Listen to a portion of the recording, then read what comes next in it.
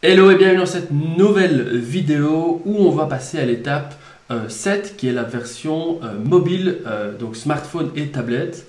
Et donc on va regarder ensemble pour cette nouvelle étape, eh bien, quelles sont les choses à mettre en place, que faut-il faire pour faire en sorte que la version mobile soit aussi bien que la version desktop. Je te dis tout dans cette vidéo. C'est parti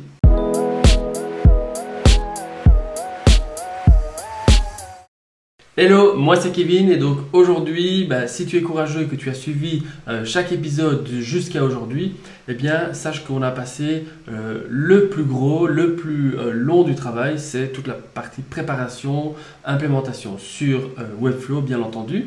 Mais là, on va passer à une autre phase, c'est la phase de mise en ligne. Et avant de mettre le site en ligne, on doit être sûr de rectifier plusieurs choses et faire en sorte que tout soit bien en place parce qu'une fois que le site est en ligne, c'est plus difficile de le faire après. Et c'est aussi moins conseillé. Donc aujourd'hui, on va commencer par euh, passer en revue la version mobile. Donc on va voir ce qu'on a préparé. Euh, tu vas voir que la version desktop, ben, elle est faite, on en a fait ensemble, c'est ok, mais il y a plusieurs autres versions euh, qu'il va falloir faire attention. On va aussi voir ensemble les différents navigateurs qu'il va falloir euh, vérifier, et puis aussi les différents breakpoints. donc les breakpoints, pour, c'est un mot en anglais, qui veut dire les, tailles, différentes tailles d'écran. Tu sais que par exemple pour un smartphone, aujourd'hui il y a des milliers de modèles différents avec des milliers de tailles d'écran différents. Donc aujourd'hui, on va passer à la version mobile on passe sur mon écran et je te dis tout ça. Alors, ici donc, on se retrouve sur notre euh, site internet qu'on a créé entièrement ensemble sur Webflow et je pourrais le mettre en ligne là en quelques clics en ajoutant mon nom de domaine et puis passer aux lignes. Sauf qu'aujourd'hui, avec toutes les tailles d'écran qu'on a, évidemment, ce n'est plus envisageable, c'est tout simplement euh, pas possible. Euh, donc, on doit absolument vérifier encore plusieurs choses dont aujourd'hui la version mobile.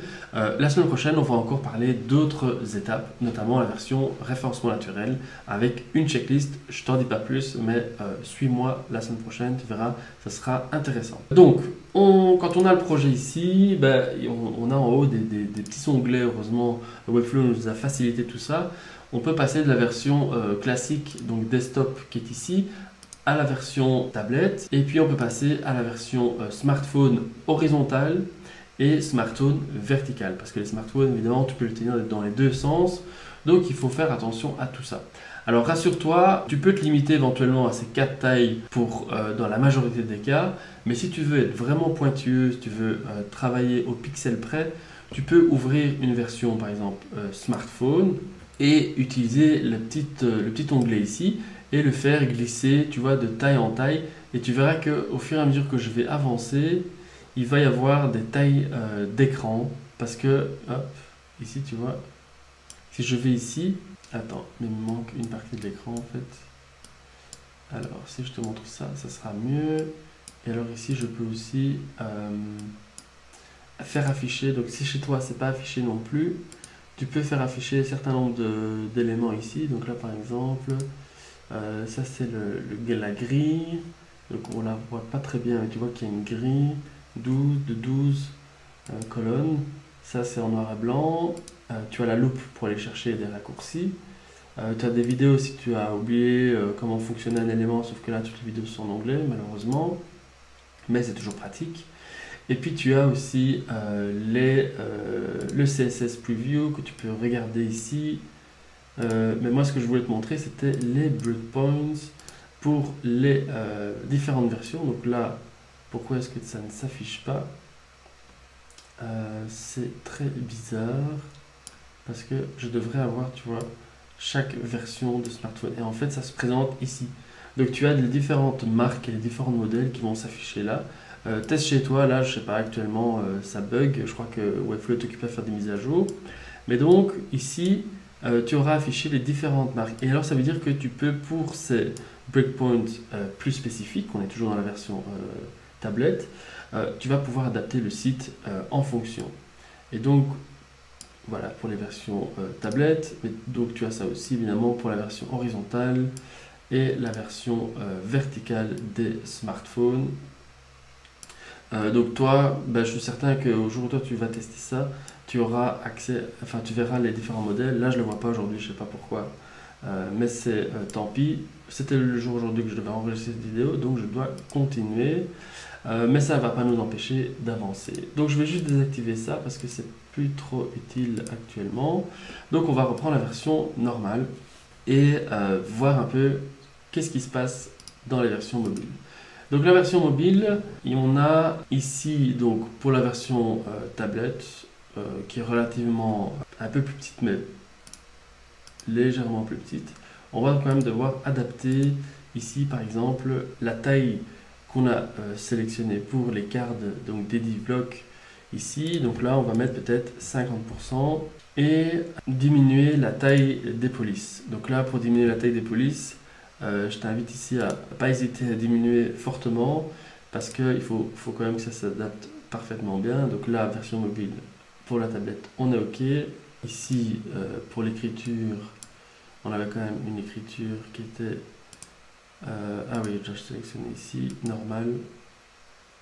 Et alors, Annie, tiens, je le vois pas. effectivement, aujourd'hui, le tableau de bord de Webflow fait un peu des siennes, euh, mais on va continuer. Écoute, toi tu l'as sûrement bien fait aussi, donc on peut continuer. Donc là ici, rien à signaler. Le texte pourrait être un peu plus petit, mais je pense qu'on est OK. On peut passer euh, à la prochaine page. Donc là, on avait fait aussi ensemble la version euh, blog. Et là, voilà, tout se, se place plutôt bien. Donc on n'a pas grand-chose à faire. Ici aussi, Ici, je dois juste encore mettre ça au milieu. Voilà, ok. Ok, parfait. Donc, une fois qu'on a fait la version euh, tablette, on peut passer à la version euh, smartphone euh, horizontale cette fois-ci, pour commencer. Et donc là, on commence à avoir des petits soucis de, de savoir, ok, qu'est-ce qu'on va mettre en avant? Est-ce qu'on va enlever la photo de notre consultant ou la garder? Toutes ces décisions sont en principe faites en amont. Donc quand tu crées les maquettes sur Figma, Adobe XD ou Sketch, euh, ici je ne l'ai pas fait parce que je, me suis dit que le site était simple, que je pouvais à la volée euh, le décider. Mais je pense que pour des sites plus complexes, c'est quand même intéressant si tu fais cette version mobile complète aussi sur Figma en maquette avant de passer au développement parce que sinon tu vois là maintenant je vais devoir un peu chipoter euh, trouver des solutions. Mais regardons ensemble, ça va pas non plus du gros chipot, euh, parce que disons qu'on se retrouve sur un écran euh, pas plus grand que ça, version horizontale. Donc déjà on n'a pas besoin de voir tout. donc on va limiter, on va peut-être enlever notre consultant, je pense, comme ça il va, il va pas trop nous embêter pour la suite. Parce qu'effectivement, quand l'écran est encore plus petit, version horizontale, alors là, le texte, il, va, il va devant lui et ça n'a plus vraiment de sens. Ce qu'on peut faire aussi, c'est changer la manière dont on a construit cette partie-là et mettre le texte au-dessus avec la photo en dessous. C'est aussi possible. Libre à toi, en fonction de ton design, de comment tu peux euh, arranger ça. Ici, je pense que je vais aller euh, au plus simple, c'est prendre ici l'image et je vais la cacher notre consultant. De toute façon, sur un téléphone mobile, on a plutôt tendance à aller à, l'essentiel, donc euh, on va passer à l'action. C'est pas trop grave. Donc là je vais faire 100% et puis ici je vais le mettre en auto, comme ça on est à 0. Euh, et là par contre j'ai mis quelle taille, donc 100%.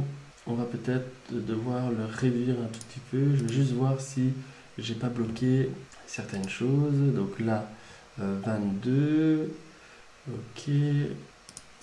Mon carré ici il est ah oui, il y a 25 et 25. Bah, imagine, voilà, je, vais décider de mettre 10. 10. 100% on peut garder. Et là, à la limite, je mets 0. Et 0. Si je veux quand même ajouter un petit espace à, gauche et à droite, je pourrais ajouter ça euh, plutôt au niveau ici. Donc là, si je veux, hein, mais t'es pas obligé.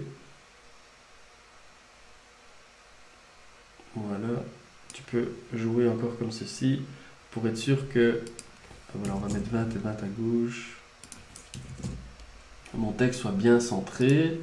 Euh, donc, ok, ici on descend, on a le texte bien grand, donc ça, ça peut mal. Et là, par contre, ici, on va devoir changer l'ordre parce que évidemment, Euh, là, ça va être beaucoup d'infos en une fois, donc on est obligé de changer l'ordre. Donc on va reprendre ici notre container. Ça c'est ce qu'il y a au-dessus. Et par contre ici, on va changer donc de horizontal de mon flex. On va le mettre en vertical. Comme ça, ça va se lire de haut en bas. Euh, et puis ici, je vais, au lieu de limiter à 50%, je vais mettre 100% également. Euh, je vais enlever les euh, marges que j'avais mises. Voilà. Voilà, comme ça on se trouve bien au milieu. Par contre, du fait que je suis, je vais augmenter ici à 800. Hop. Voilà, comme ça c'est plus aéré. Euh, donc, je vais passer à la suite. Ici, ben, est-ce que cette ligne, je l'enlève? Je pense que je peux l'enlever, elle, m'est inutile ici. Euh, donc, je vais cacher cet élément et faire tout simplement un 100% de ce qu'il y a dedans, donc de mon texte ici. Donc, je vais mettre 100%. Voilà. Donc là, tout ça, on peut... Euh, on est bon. Là, on est bon, on est bon, on est bon. Ok. Et là, toujours, c'est ok. Ensuite, on va regarder notre blog. Alors pour notre blog, bah, ça m'attendrait qu'on lise l'article ici sur le blog, euh, sur la version mobile, mais voilà, jusque-là ici tout va bien, on est bon. Et si on veut, on peut analyser chacune des versions horizontales, mais voilà, c'est relativement ok. Donc on peut passer à la version euh, horizontale. Donc je vais juste reprendre ma page d'accueil pour commencer.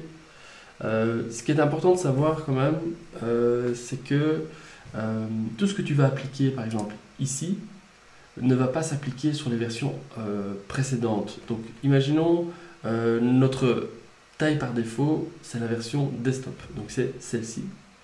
Voyez, pour ça qu'il y a une petite étoile, c'est la version par défaut. C'est la base du breakpoint.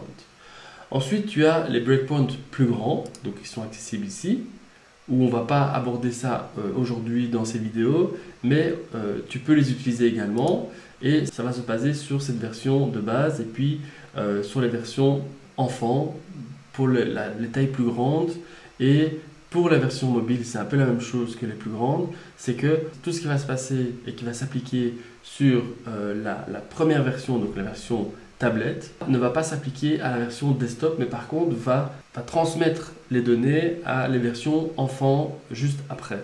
Donc ça, c'est une petite euh, logique à comprendre et à, capter aussi, c'est que on a un breakpoint de base qui est le desktop, et de là en découlent les autres versions. Donc ça veut dire que on peut choisir, par exemple pour la tablette, un certain nombre de données. On va avoir par défaut ce qu'on a appliqué euh, de la version euh, tablette à la version smartphone horizontale, mais on peut la adapter à nouveau, mais ça ne va pas affecter la version tablette. Et de même que si je change ici la version euh, mobile, tu vois que la version mobile verticale a déjà pris les infos que j'ai indiquées ici dans la version euh, mobile horizontale, eh bien je vais pouvoir appliquer spécifiquement des choses à la version verticale mais qui ne vont pas s'appliquer sur les autres versions. Voilà, j'espère que tu as compris, mais donc c'est vraiment ça, tu prends le breakpoint de base comme la base et puis de là on découle les différentes euh, versions et il y a une hiérarchie à prendre en compte parce que tu vas pouvoir adapter le design aux versions des mobiles. Donc voilà, on se retrouve dans la version, la dernière version, la plus petite, c'est la version verticale mobile. Et là, à nouveau, je peux faire en sorte d'avoir ce texte euh, peut-être plus petit parce que dans le bouton ou d'inverser tout simplement le, le, flex. Donc là, je l'ai mis en horizontal, je mets en vertical et je mets au milieu et ça va très bien marcher aussi euh, parce que quand on scrolle comme ça vers le bas, ben, euh, c'est pas mal d'avoir des gros boutons. Alors ici par contre je vais enlever la marge que j'avais mise, donc je mets 0 et donc là comme ça j'ai tout bien aligné. Euh, je vais maintenant descendre ici, donc là on a le texte, il a repris en vertical déjà. Ici on a mon texte aussi, bon là on peut le mettre en, au milieu. Ça aussi on peut mettre au milieu. Là, de nouveau, c'est vraiment libre de, de, faire ce que tu veux. Euh, alors, non, c'est pas là que je vais le faire, c'est plutôt ici. Hop, voilà. Ok, ça c'est bon. Donc, on peut continuer comme ceci. Et, mais pour moi, c'est ok. Par exemple, là, tu vois, le texte il est vraiment très très très grand.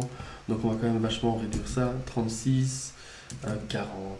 Comme ça, c'est quand même pas trop. euh, Et encore, ça reste encore. On va mettre 24, 28.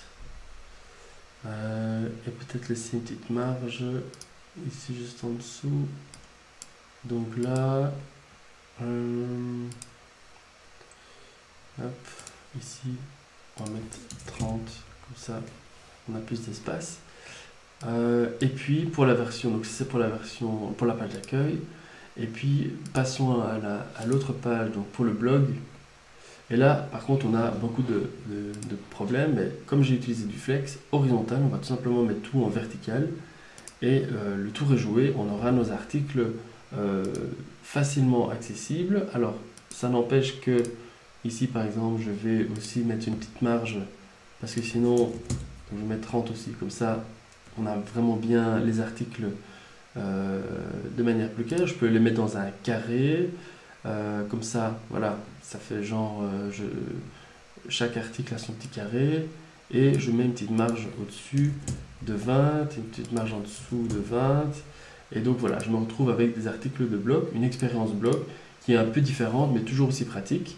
Euh, je peux peaufiner ça euh, dans le détail, mais voilà, je pense que tu as compris le principe. Euh, bien faire attention ici aussi d'avoir tout bien au milieu. Donc là, si j'ai mis une marge, évidemment, je dois, je peux pas l'oublier, je peux pas oublier de l'enlever. Là, il n'y a pas de marge. Là, c'est le thème. Là, j'avais quand même mis une marge aussi. Et donc, voilà, on a notre version mobile également. Donc maintenant, ce qu'il nous reste à faire, c'est que, voilà, je peux la publier sur le lien euh, provisoire. Et on peut aller encore un cran plus loin. Euh, mais je vais faire euh, une petite vidéo là-dessus très prochainement sur les différentes versions, donc comment tu vas pouvoir tester en profondeur les différentes versions, euh, que ce soit sur Safari, sur Firefox et sur Chrome. Donc ce sont les trois navigateurs les plus utilisés. Je vais te faire une vidéo là-dessus, euh, hors série, hors de l'é- l'épisode, juste pour que tu puisses voir un peu et analyser les différents sites web que tu auras envie de voir. Parce que effectivement, tu peux décortiquer n'importe quel site euh, grâce à ces trois navigateurs. Mais donc voilà, on a notre version mobile. Tu as vu que tu as pu euh, adapter vraiment pour chaque version mobile aussi par modèle, sauf qu'on ne les a pas vus ici sur Webflow. Je ne sais pas pourquoi aujourd'hui le designer de Webflow fait des scènes un tout petit peu. Mais donc voilà, on a vu ensemble comment créer la version mobile à partir de la version desktop. Semaine prochaine, je t'explique et je te montre la checklist SEO. Surtout, suis-moi pour la semaine prochaine. Euh, prends soin de toi et on se voit très bientôt. Ciao, ciao.